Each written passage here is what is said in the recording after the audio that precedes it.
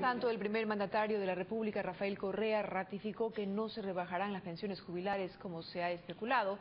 También se refirió a la iniciativa del Ejecutivo de enviar a la Asamblea un proyecto de ley que aportaría a mejorar la distribución de los ingresos petroleros en nuestro país.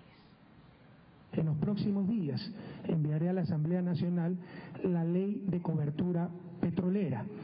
Técnicamente no es necesaria, es redundante pero sirve para que esos funcionarios que toman decisiones técnicas como el seguro eh, petrolero estén más protegidos frente a tanto ataque, tanta ignorancia, tanta mala fe.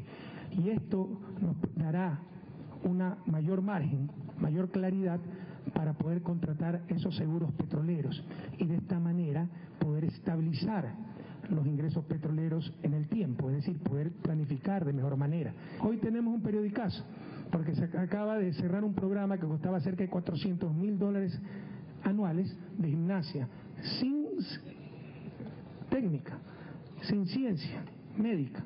Era un gimnasio que se, compra, que se contrataba para un poco de gimnasia para ciertos adultos mayores.